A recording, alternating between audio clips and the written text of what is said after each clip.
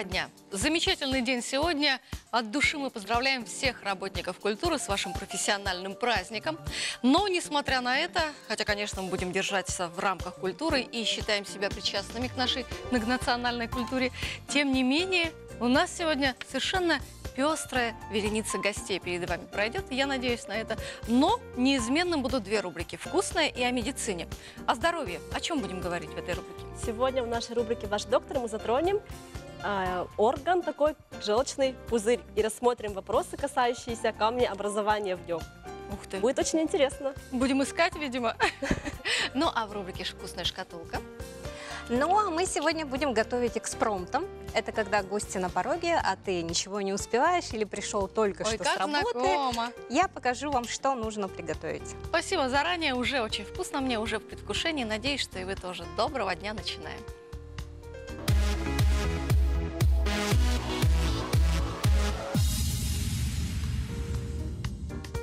Я рада пригласить уже в нашу студию первого гостя. Это будет человек, руководитель группы офисов Управления розничного бизнеса Департамента розничного бизнеса «Алмаз Регенбанк» Оксана Березина. Прошу вас, ничего не стесняйтесь и не бойтесь. Ну что, здравствуйте. Здравствуйте. Ну, как человек, руководящий таким ответственным отделом, вы наверняка знаете, что же для нас готовит Алмаз Регенбанк. Так, ну Алмаз Регионбанк а, в этом году а, подготовил очень много разных а, вкусных предложений, разных акций. То есть сейчас, например, у нас проходит акция для наших милых дам. У нас есть весеннее предложение. Любая женщина, независимо от того, является ли она нашим зарплатным клиентом, может получить кредит по сниженной тарифной ставке. Также у нас сейчас проходят акции для сотрудников медучреждений, а, очень тоже интересно. независимо от того, является ли сотрудник медучреждения нашим зарплатным клиентом, он может подойти в офис и получить кредит по сниженной тарифной ставке. А это касается только кредитов или ипотеки тоже? А По ипотеке у нас как раз-таки а, тоже будут а, внедрены акции. А, Хочу сразу а, рассказать нашим телезрителям, у нас планируется День открытых дверей, который будет проходить 6 апреля. А по адресу Ленина 22 с 10 до 6 часов вечера банк подготовил а, специальные предложения. Можно будет а, получить бесплатную консультацию от ведущих застройщиков а, и подряд- подрядных организаций. Поэтому всех ждем. Очень приятно. Ну, а чтобы стать участником зарплатного проекта вашего, что нужно сделать для этого? А, Ну, для этого заключается договор с организацией. Также у нас есть индивидуальный зарплатный проект, то есть независимо от того, а, ваша организация изъявила желание стать а, нашим зарплатным проектом, либо нет, сотрудник организации, если ему нравится наш банк, может подойти к нам в офис, либо мы можем организовать выезд персонального менеджера для заключения соглашения. Ну, то есть сейчас же какая-то поправка законодательства есть, да, то есть э, я могу, независимо от того, Да. как решила организация, выбрать любой понравившийся мне банк, и это может быть и ваш банк в том Да, числе. да, конечно. И моя зарплата будет поступать через вашу карточку. Да. И в таком случае меня ожидают какие-то акции и Бонусы плюшки. Да, но у нас акции проводятся не только для зарплатных клиентов. Безусловно, у нас для зарплатников есть э, постоянные какие-то бонусные акции. Да? А зарплатные карты у нас могут быть с кэшбэком, а, могут быть э, карты с начислением миль. Также мы выпускаем карты МИР для бюджетных организаций. А можно вопрос такой животрепещущий по ипотеке? А Когда-то, несколько лет назад, у вас была такая хорошая программа э, ипотечная. Помните, когда люди стояли э, в очереди ночами, там караулили возле МФЦ, по-моему, это было, да? Ну, вполне возможно. Это и было. Я в Алмаз банке не так давно работаю, поэтому какие-то моменты могла упустить. Но в любом случае, если вам нужна подробная консультация по ипотеке, вы можете обращаться а, в любой офис нашего банка. На Ленина 22 у нас как раз-таки и размещается ипотечный отдел. Можно будет туда либо позвонить, либо подойти самостоятельно. Вы либо сурово? можете ко мне обратиться. Сурово, строго Хорошо, подходите.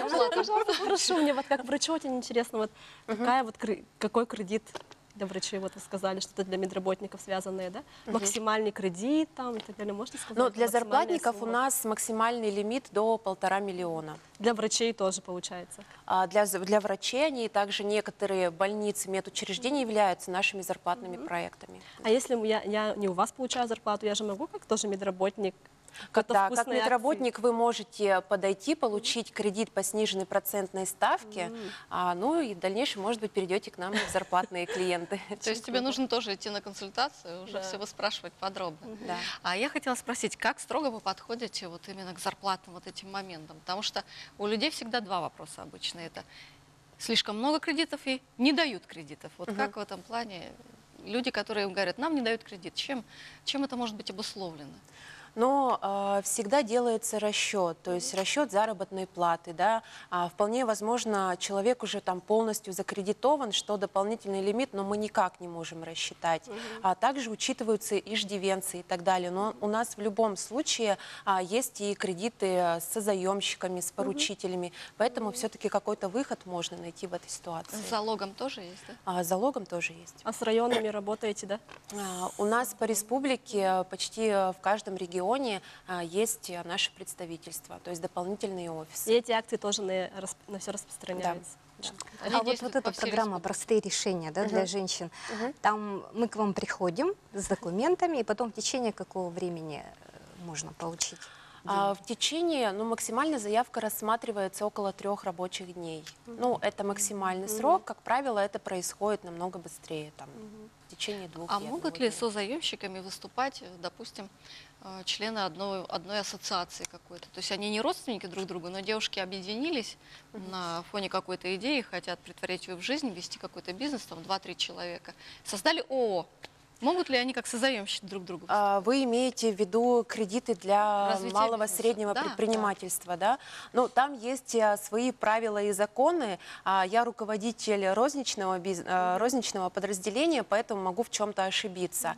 А По м, конкретным вопросам, которые интересуют вас, лучше обратиться, конечно же, в отдел малого среднего предпринимательства по кредитованию. А Мы в этом году вошли в 70 банков, а, которые выбрал Минэкономразвития России по льготному кредитованию малого и среднего предпринимательства.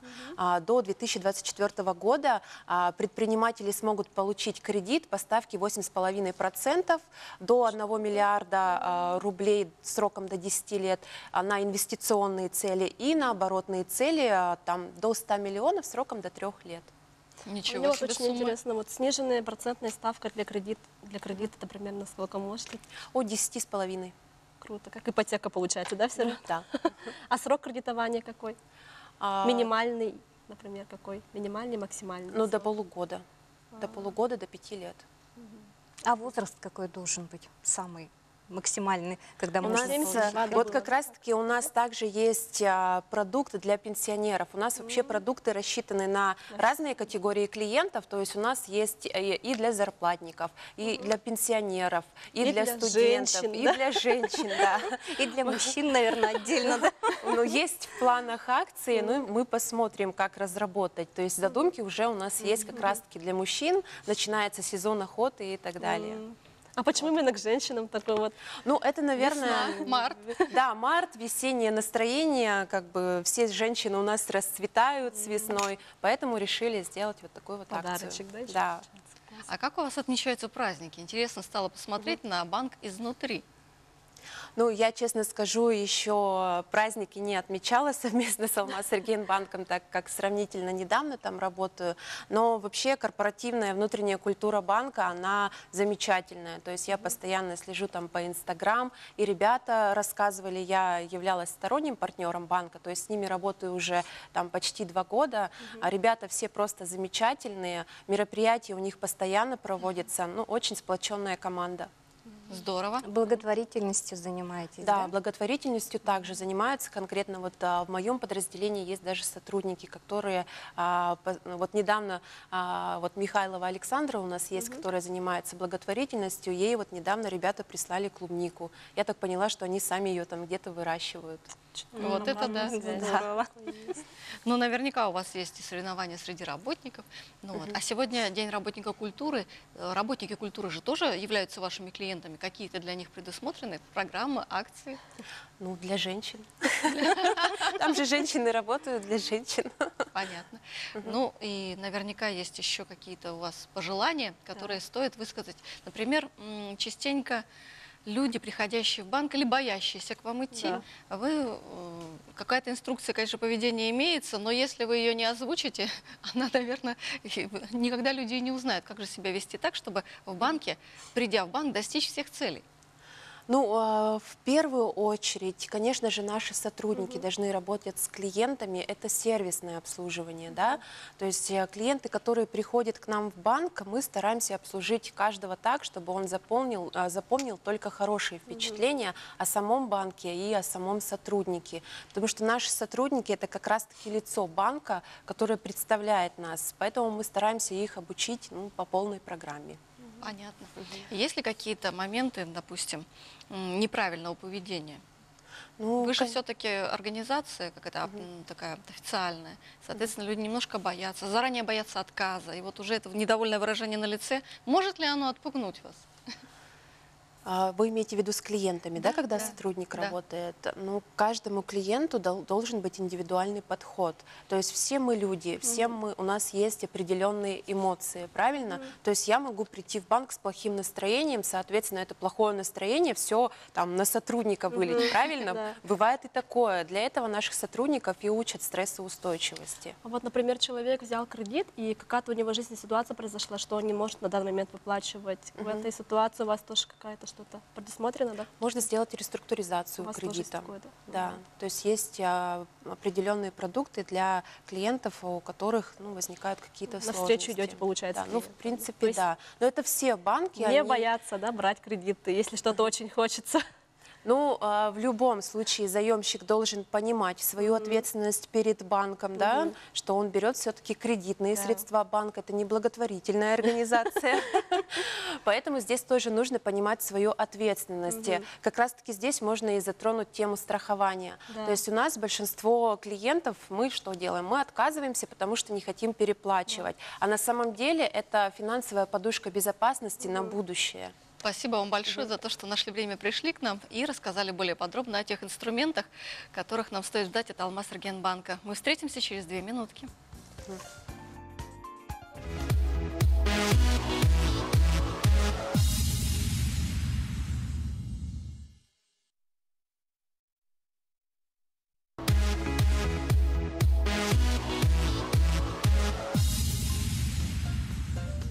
Подчас многие люди фонтанируют буквально идеями, и кажется со стороны как чудесно, как прекрасно. Но как проверить идею на живучесть? Выживет она или погибнет в бурном море страстей? Об этом нам сейчас расскажет специалист в рубрике «Все дело в людях».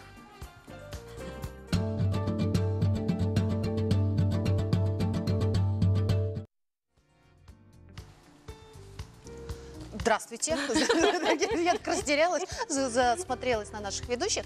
Всем привет, снова я с вами. И сегодня действительно будем говорить о том, что нужно делать для того, чтобы проверить идею на живучесть. Буквально вчера вечером сама э, делала такой мини для себя собственный мозговой штурм, но скорее расскажу про то, как это делать с кем-нибудь другим, да, как это делать с коллективом и так далее. Итак, у вас родилась идея, и вы хотите Знакомо. понять, вообще, надо с Что ней что-то делать, делать с ней что-то или нет. Или, допустим, у вас какой-то затык, то есть вы понимаете, что вы куда-то двигаетесь, но вдруг не туда и так далее и тому подобное. Здесь очень помогают всякие методы мозговых штурмов. Но я хочу рассказать сегодня именно про тот метод, который называется метод Волта Диснея Давайте. либо Диснея, не знаю уж, как правильно говорится. Вот. Дело в том, что есть такая легенда, что у него даже сотрудники сидели на разных этажах, и каждый этаж выполнял свою определенную функцию. Поэтому существуют э, следующие варианты. Традиционно у меня есть такая замечательная штука под названием доска. Сегодня я буду рисовать разными маркерами. Итак, когда у нас есть какая-то определенная идея, и мы хотим ее проверить на живучесть, то нам нужно сначала эти идеи или э, эту идею или эти идеи, в зависимости от того, какая Записать. задача, раскидать. Вообще накидать надо ее. Мгм. И вся проблема, почему иногда это не получается сделать, и почему иногда мы не доходим до некого решения или некого плана, мы начинаем сразу на первом этапе говорить, не, нифига это не получится. Да. Есть И отсюда дело. вывод. Бывает. Уолт Дисней сделал вот таких три Этажа.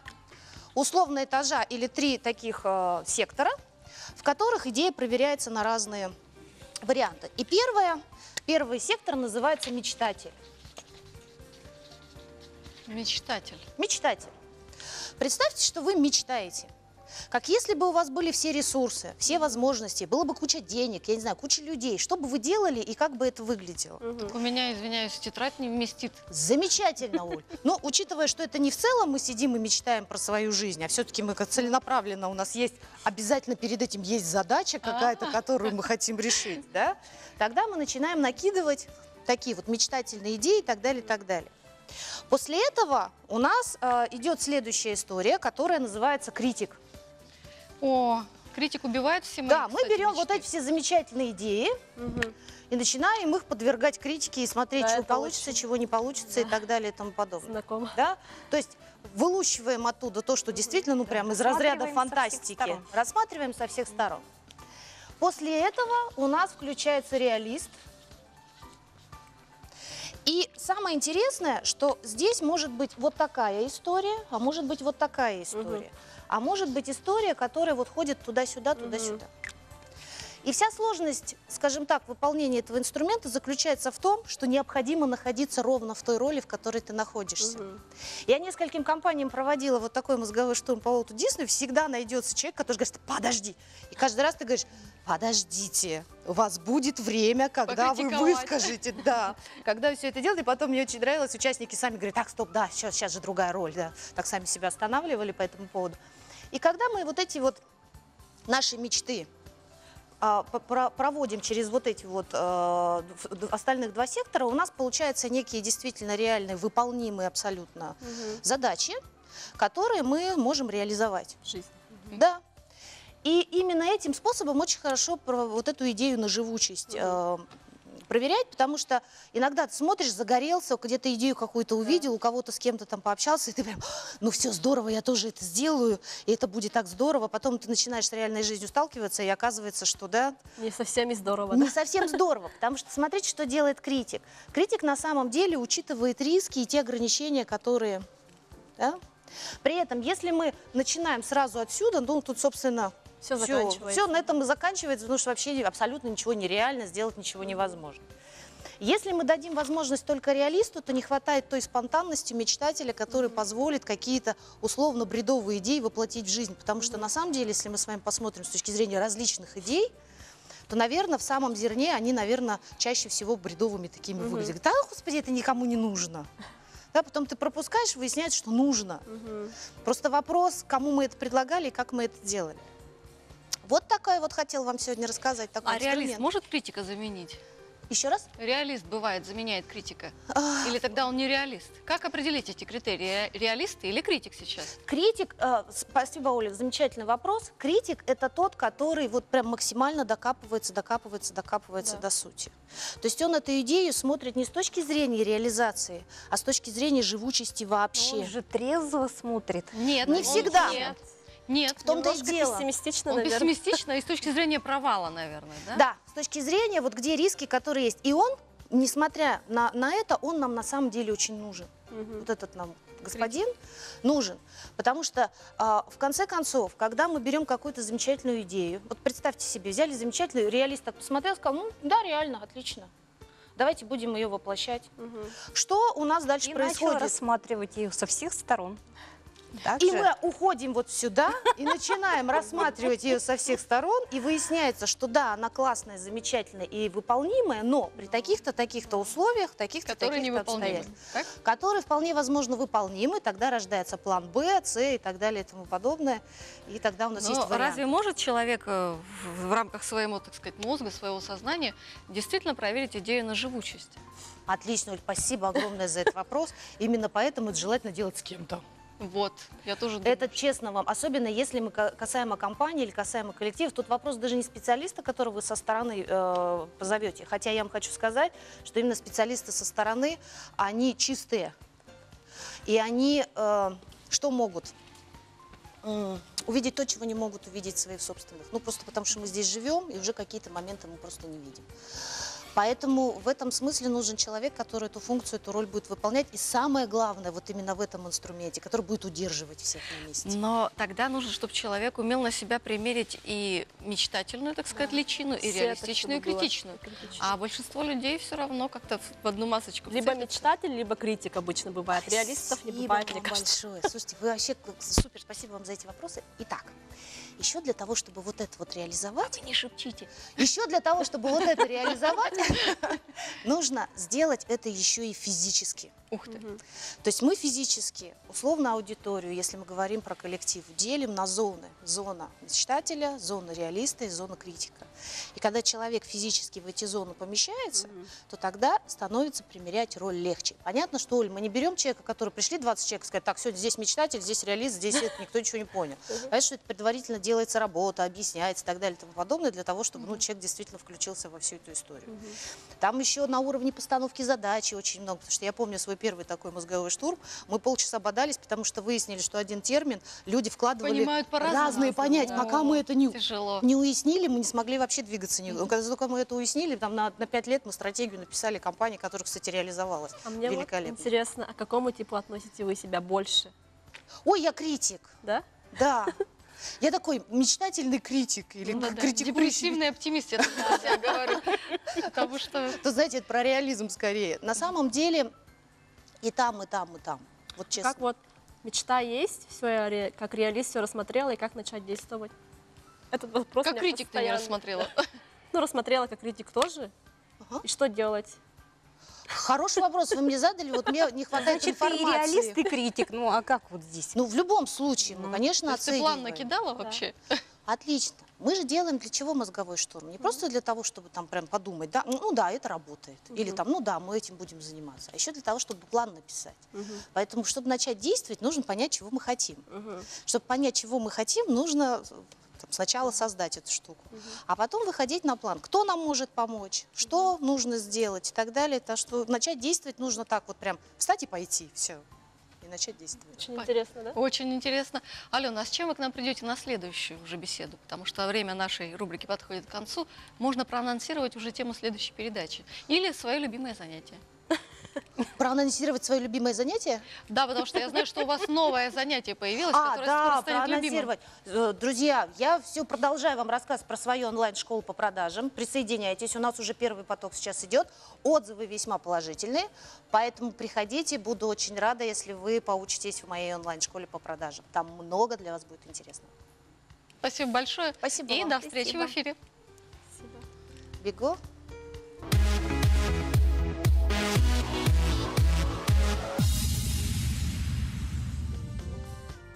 Мы готовы уже принять в нашей студии следующего гостя. Очень красивая девушка появляется и может уже заходить, заходите, заходите. Это Варвара Филиппова, день. это Добрый модельер, преподаватель кафедры дизайна и ДПИ народов Арктики, АГИКИ. Варвара, с чем вы к нам пришли? Вот это вот все, это что у нас? Это все я привезла награды из Италии, из Вероны.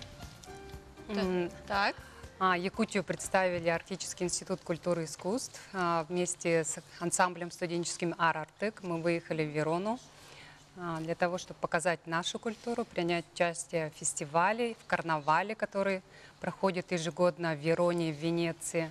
Программа у нас была очень насыщена. И когда очень проходило мероприятие? это было в начале марта, в первых числах марта. А, Три насыщенных дня. Мы участвовали в карнавале в Вероне. Это самый первый исторический фестиваль, который есть а, в Италии. А, Наша делегация из Якутии возглавляла колонну. А, Это Колонна первый была раз, по-моему, в да. жизни вообще. да, колонна а, русского дома в Италии. А, Вот, и это, конечно, было очень гордо, красочно. А, Вся Верона, то есть э, миллионы да, зрителей, все видели наши костюмы. Вот мы видим. А, Вот, да, представлены фотографии. А, Также мы выступили в Венеции на площади Сан-Марко. Это площадь самая главная в Италии, можно так если сказать, да. Ам, Ребята выступили с, с, с танцем, с чукотским. Ну и также я представила свою коллекцию. То есть мы в полном объеме. Наша э, культура выступила на венецианском карнавале. Это тоже был очень такое, а, очень масштабное мероприятие. Даже вот бейджик остался настоящий. Буду хранить. Да, это, конечно, на память большую, да. Похвастайте, какие вы награды привезли с собой? Также, да, потом прошел э, конкретно конкурс а, костюмов народов России. Он проходит уже пятый год. Поворачивайте к нам. Да, моя коллекция заняла первое место. Поздравляю. Спасибо. А, в номинации «Исторический костюм». А, Вы разрешите? да, возьмите. пожалуйста. А также а, ребята из ансамбля «Ар-Артык» нашего студенческого арктического института заняли первое место в номинации а, «Танец и костюм». Так, Сразили секундочку. всех на повал. И вот об этом вы нам расскажете чуточку позже. Мы прервемся ненадолго.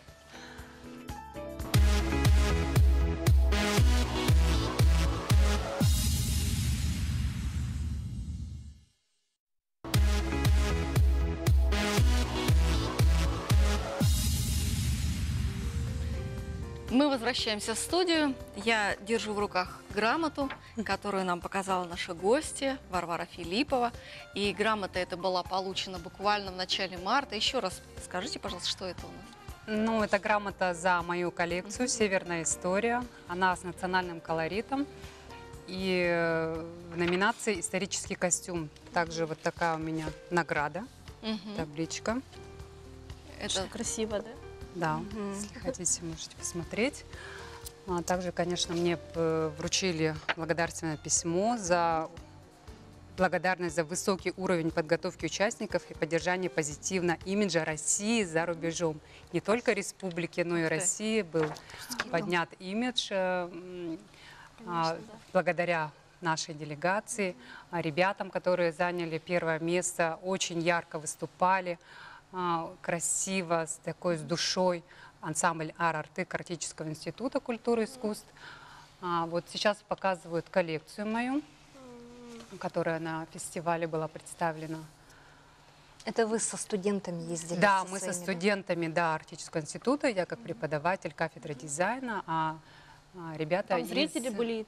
Да, зрители было Очень, наверное, много. понравилось. Да, очень... Вообще, да, итальянцы, конечно, мало чего знают о Якутии, а, поэтому я считаю, такие поездки, они нужны. И действительно несут положительный имидж и привлекают, э, интересуются а, в первую очередь культурой, и это, конечно же, может э, в дальнейшем привлечь, привлечь и а, наше развитие креативного да, кластера и туризм в том числе. А итальянки не заинтересовались платьями, не хотели что-нибудь приобрести?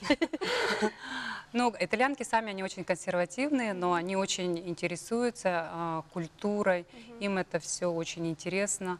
Они, я думаю, э, те же дома моды вдохновляются нами, и можно даже а, посмотреть э, последние тенденции высокой моды, они все тоже очень направлены на много этнических но- моментов много взято, да? этнических моментов, северных моментов, Как поэтому вот возникла идея поехать? Вообще это наша делегация поехала по приглашению Ирины Владимировны Крутиковой, которая приезжала сюда на э, «Зима начинается с Якутии» фестиваль. Она была у нас в институте. И, конечно, очень вдохновилась вообще костюмами, а, культурой, а, ансамблем, да, и пригласила, что, чтобы мы представили именно республику на этом фестивале э, что мы должны, чтобы люди нас видели, Знали, да. знали, да, потому что, ну, на самом деле, у нас много чего тут происходит, у нас очень много э, таких э, ярких артистов, да, но, к сожалению, мало кто знает об этом. Да. А кроме нашей делегации, там из России больше никого Из? России были, да, под Москва, Подмосковье, а, то также разные регионы России. Понятно. Ну, такие связи культурные очень важны. Конечно, очень важны, и они всегда несут очень э, позитивный, э, положительный результат для развития, а, в том числе и студентов. э, Их кругозор открывается, они видят, как, чем живут люди, да. Студенты сейчас, наверное, вдохновлены да, этим конкурсом. Студенты очень вдохновлены, они уже прямо горят желанием поехать и на Куда? следующий год. Строят планы. И их тоже, вот мы на площади Сан-Марко с ребятами. Конечно же, у нас флаг республики, Арктического института. Это вот на главной площади Сан-Марко с девочками мы. Это же очень круто, что кто-то Да, и узнал, вот это вот уже а, нас наградили. А, Наша делегация очень-очень ярко выступила. Из пяти номинаций мы взяли три номинации. Также у нас девочка Анна Фролова заняла а, второе место в номинации «Образ Джульетты». Она очень так э, красиво, трепетно а, создала образ такой северной Джульетты. А, Ну, очень вдохновились э, зрители. Ну, жюри было не итальянское в своей в основной массе. А Вы что больше выпускаете- всего впечатлило? Что больше всего впечатлило, оставило прям? Уже не как участников, а как э, человека, как А, якутян. Ну, сам, само действие вот э, позитивное карнавала мы два раза, да, то есть приняли участие в двух карнавалах таких масштабных а, мирового уровня. А, Энергетика, са- наверно, энергетика, конечно, зашкаливала. А, На площади Сан-Марко просто не было яблока упасть никуда. То есть э, там тоже есть фотографии, где вся-вся площадь, она вся в людях. То есть эти люди, они все снимали, они все видели. То есть таким образом, да, это вот э, масштабируется наша культура. Какие у вас творческие планы на ближайшее время? Что вы со студентами решили придумать? А, ну, планов очень много. В Арктическом институте жизнь кипит. У нас очень много выставок, э, мероприятий. А, Также сейчас будет производиться набор а, на э, кафедры дизайна, дизайн костюма. В частности, я буду набирать. Так что студенты, кто желает, приходите. Всегда мы вам рады. И могут попасть на фестиваль, да? Да, и таким образом могут тоже создавать коллекции, попадать на фестиваль.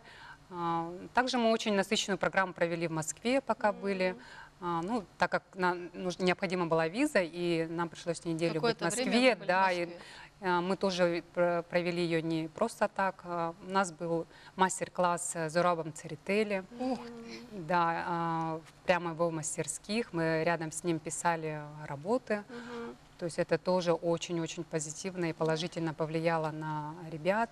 И вообще вот э, прикоснуться с культурой такого мастера, короче, ну, конечно, дорогого стоит. Мы вас от души поздравляем с Днем работника культуры нашей страны. Благодарю, да. Да, и благодарим, конечно, Спасибо. вас за то, что вы делаете, за то, что вы культуру пропагандируете еще и за пределами нашей страны. Спасибо вам большое. Ну, а мы уже готовы Спасибо перейти вам к следующей рубрике. Мы поговорим теперь о здоровье. Сделаем это прямо сейчас в рубрике «Ваш доктор».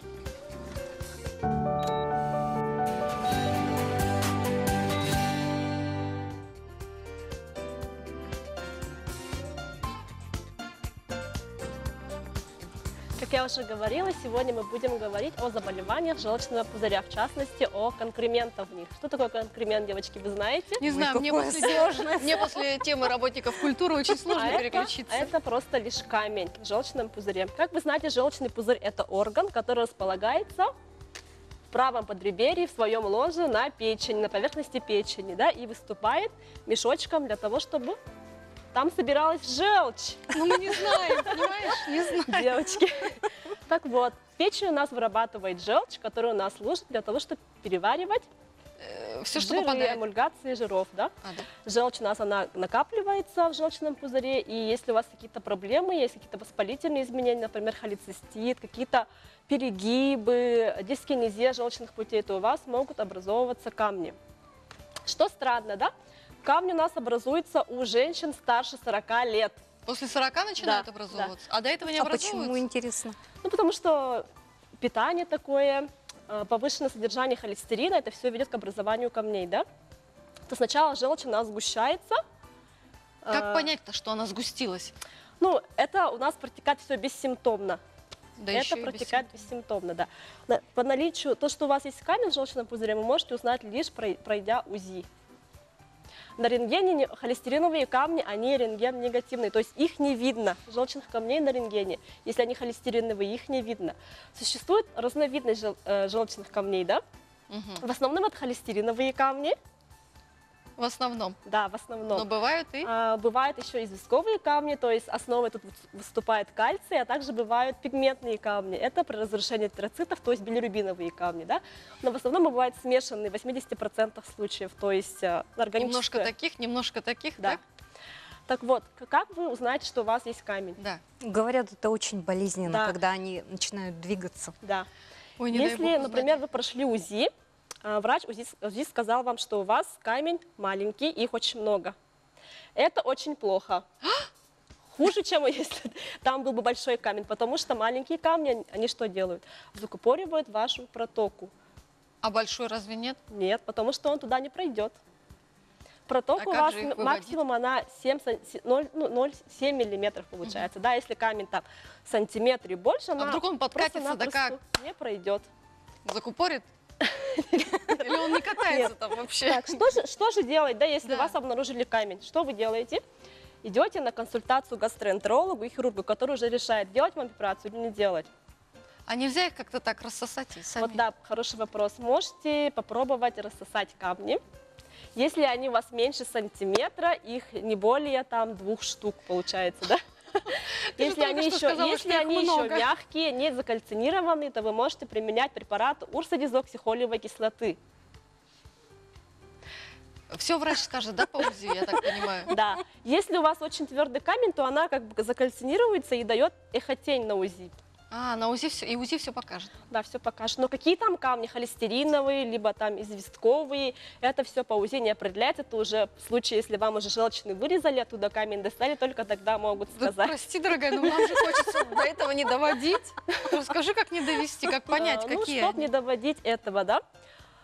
Причина у нас является то, что у вас могут, у вашей матери, например, или отца у вас э, могут быть камень. Да, если у вас наследство такое есть, то вы должны обязательно соблюдать, как все сюда приходящие нам врачи говорят, правильное питание обязательно. И все. Да? Да. Хорошо Соблюдайте только правильное питание, низкохолестериновая диета и так далее. Не ешьте жирного, да, да, не ешьте главное. жирного, ничего такого. Подожди, ты только что сказала кальцинирование, то есть творожок, там йогурты всякие. Нет, это кефир. все не влияет. Не влияет Да. Просто если камень очень долго он лежит, он консервируется просто. сам по себе. Да. Так вот, что еще хотели спросить, И девочки? сколько камней может образоваться там? А, камни вообще могут быть от одной штуки, Да вообще, да, могут, могут. мог- может заполнить весь желчный пузырь. Поэтому желчный пузырь у вас отключается. И это вы узнаете только на УЗИ. Я... Да, какие Симптом- симптомы? Ну, симптомы, они протекают все очень бессимптомно, поэтому только на УЗИ узнают, что у меня есть камень, так удивляются. А, Просто иногда могут быть там тяжесть в правом подреберье, так как признак острого холецистита может быть, а, могут быть а, тошнота, рвота и так далее. Могут там болеть какие-то другие органы при этом? Там Нет, не могут. Только тяжесть. Ну, если у вас печеночная или желчная колика, то у вас это могут отдавать в правое подреберье, в правую лопатку, в правую руку даже могут, может Ну. Они у каждого человека могут быть, да? Ну, у каждого не человека. каждый Поэтому узнает для- об этом. Ну вот Да. я говорю, для профилактики, Даже наверное, иногда нужно... бывают камни, что очень странно, да? А так они не выводятся сами, не растворяются разве? Нет, конечно. Почему ты так говоришь? Даже в почках они вроде как растворять их можно там. В почках, кстати, камень очень хорошо растворяет. Что, девочки? Не знаю. Но я в этом не скажу. Ладно, потом. На, на ТВ говорить нельзя, наверное. Ну хорошо, потом скажешь нам. А разве для желчного пузыря нет такого универсального? Ну вот я же говорю, можно применять препарат урсодизоксихолиевой кислоты, который вам назначит То есть, в врач-гастроэнтеролог. принципе, можно. Да, а также выйдут. есть ударно-волновая литотрепсия. Ну, то есть дробление камней. Очень хорошо, и они выйдут, да? Да. Но это очень тоже имеется там противопоказания, показания тоже, если там камни маленькие и так далее. Лучше идти на оперативное лечение, а можно их вообще не трогать. Всю жизнь можно с этим камнем жить. Если дискомфорт это не доставляет. Вот это да. Да. Ну что, спасибо тебе за такую важную информацию. Я надеюсь, что за эфиром нам наш врач расскажет гораздо больше. А мы вернемся в студию через две минуты.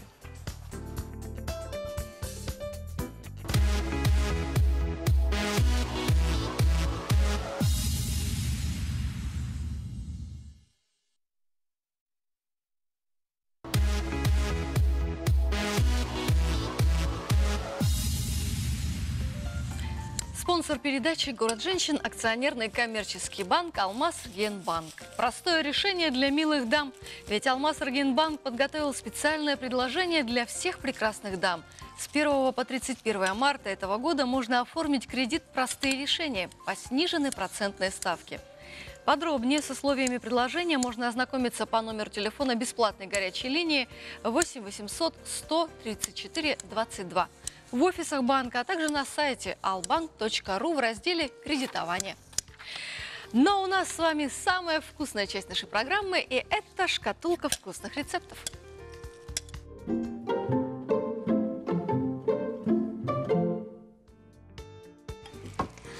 Добрый день, и снова с вами рубрика «Шкатулка вкусных рецептов». Я ее ведущая Ирина Дегтярева. И сегодня мы будем готовить с вами экспромтом. Я принесла с собой вафельницу и предлагаю, девочки, с вами поговорить о чем-нибудь. Представим себя э, на кухне у себя дома Так. и будем разговаривать и печь вафли. Но ты говоришь, внезапные гости на пороге, да? Да. Алена, у тебя есть какой-то такой дежурный рецепт быстренький? Да, у меня в морозилке всегда лежит готовое слоеное тесто. Вот. Покупной. Вот. Слоеная? Да. И быстренько что-нибудь, какой-нибудь пирог делаю. Здорово. Это очень быстро можно сделать, ты права.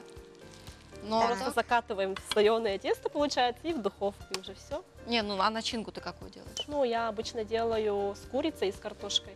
Мелко то и другое, Да. немножко майонезика, помариновалась. А можно майонеза. сделать вафли. Смотрите, берем сливочное масло А можно мы растопленное. подойдем поближе? Подходите. Все на глаз. Три яйца.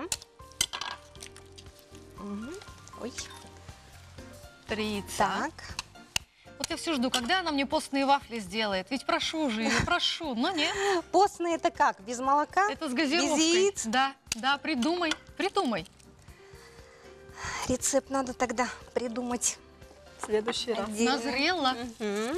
Так, яйца мы положили. Так, Сливочное масло, яйца.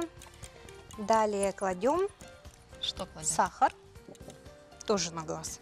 Я привыкла тебя все на делать глаз. на глаз. Так, Вафли, по-моему, самое такое, ну, кроме оладий, конечно, да? Мгм. Многие могут быстро? Оладушки печь перед приходом гостей, если торопятся. Если времени нет, а мы будем делать вафли. Есть такая хорошая штука, как вафельница электрическая. И Я- тесто очень простое, и приготовить его легко и быстро.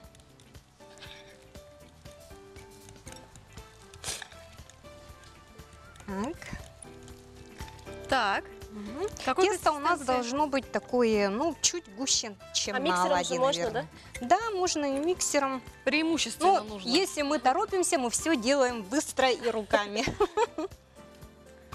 А яблоки ты для чего приготовила? Для А начинки, да? яблоки для начинки можно сделать трубочки, закрутить из вафель и э, внутрь положить любую начинку, в том числе Яблочки. яблоки. Яблоки да, нарезать, засыпать сахаром, корицей, что мы сейчас сделаем. Или вы можете мне помочь, девочки. Да, Помогай. Да, вот с удовольствием. засыпь немножко сахара. Чуть-чуть сахара, чуть-чуть корицы, И да? чуть корицы. А пудра это Пока для- мы будем... не Нет, этого. пудру не надо. И пока мы будем делать вафли, у нас как раз яблоки станут такими сочными, мягкими. Могу, да? Да. Да. Так, в это время мы включаем вафельницу. У вас есть вафельница? Сейчас же очень много разных Дома да, вот уже вафельниц. Почему уже нет? Ты понимаешь, в процессе переездов она куда-то вот испарилась. Причем вафельницу мне моя подруга любимая давала, еще вдобавок вторую. Опять не могу ее найти. Куда они все испаряются, я не знаю. Электрическая? Электрическая была, да. А у тебя, Ален, А до этого это была та, которую, знаете, на, на плите. на плите Железная. под прессом надо было держать, потом так переворачивать. И это было достаточно сложно, и на огонь еще масло капало. Я обычно, когда делаю сахар, очень мало добавляю. Ну, ты вообще должна уже правильного питания придерживаться. Вообще не должна сахара? Нам только что такие страсти про желчный пузырь рассказала. Кстати, я хотела спросить, можно не по рубрике? Я как, лингви... ну, как филолог спрашиваю. Есть же такое выражение «желчный человек». Вот мне интересно, может ли это название человека идти от того, что у него проблемы с желчным Да, пузырем? кстати. Ну, это может быть, конечно, да. В, этой, в этом доля правды есть. Просто ты говори- сказала, что Желчная бессистемно. по себе, она, она горечная Да. такая, вот поэтому То говорят, есть какие-то выбросы случаются желчи, Ну, да? конечно, это утрировано все. Ясно, не к столу будет сказано. Понятно. Ну, а у нас тесто почти уже Да, готово. тесто у нас почти готово. Можно сказать, что готово. Так, Так, вафельница, наверное, разогрелась? разогрелась. Что мы будем делать? Так, и будем делать вафли. Сегодня у нас все очень в таком Просто режиме, заметили, наверное, да? Ты знаешь, я- Трешовом, я бы сказала. интересно, что Ира имея в арсенале такие замечательную шкатулку своих вкусных рецептов, наверняка ведь имеет и кучу рецептов Мгм. быстреньких. Ну и вот это мясных, один из и самых, рыбных, и сладких. это один из самых быстрых рецептов. Я думаю, что муки это все-таки, наверное, добавим еще немножко. Вот это звуки у нас интересные. Да. Я хочу сказать, что весеннее настроение диктует нам не только принципы нашей кухни, о чем говорит наша Ира, но еще и привлекает нас к телевизору, поскольку не за горами весна на НВК. Приобретая магнит Харысхал, вы становитесь участником нашей акции. Что такое весна? На НВК это красочное, красочное действие, и, может быть, именно вы станете обладателем призов от наших спонсоров. Это мотоцикл, беседка, сенокосилка, кухонный гарнитур, лодка, морозильник, портативный гараж, ювелирные украшения, сертификат на ружье МП-155, Илинки БР, золотые украшения, круиз на Ленские столбы и многое другое от наших надежных партнеров и спонсоров. Все это ждет вас. Розыгрыш состоится 31 марта на каналах НВК Саха и Мамонт. Магнит Харысхал и купон для розыгрыша призов вы можете приобрести в здании НВК Саха на первом этаже, а также у общественных рас- распространителей. Встречайте весну вместе с НВК Саха. Так, что у нас получается что-нибудь же уже? Сейчас мы будем делать блинчики А вафельные. да? Да, я закручиваю. Я никогда не закручиваю. Я люблю, чтобы не они высохли. Ты понимаешь, я люблю, чтобы они высохли, и я их вот так грызла, грызла, грызла, грызла. Мне почему-то не получается хрустящее тесто, и я стремлюсь, чтобы они подсохли как можно больше. Ну вот такие вафли получаются в этой вафельнице. Я сегодня с утра успела сделать немножко. И вот такие вот Толстенькие. можно выпекать в мультипекаре. Помните, как ты приносила Да, с собой? У Это меня как, дочка э, сразу все съедает, что я не успеваю закручивать. Да, обычно все съедается Да. быстро. Дети сметают, и ты не успеваешь закрутить. Но, насколько я помню, у меня вот э, проблема с хрустящестью теста. Как ее добиться, кстати? Тогда я буду закручивать. Больше сливочного масла, наверное, нужно. Его надо топить или не надо? Да, обязательно Обязательно. топить. Обязательно и сахару. Масло и сахар. А Они же ломаться потом начинают.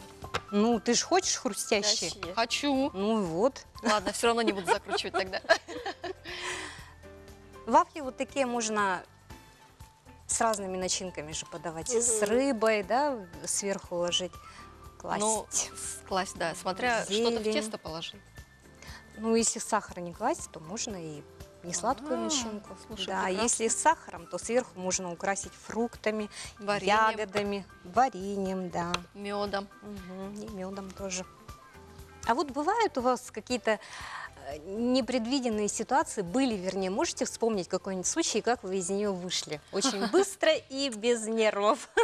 Да. Надо мне вспомнить. Нет, бывает, бывает. Потому что я частенько веду эфиры прямые на радио, и чего только не было за очень долгую нашу мою историю.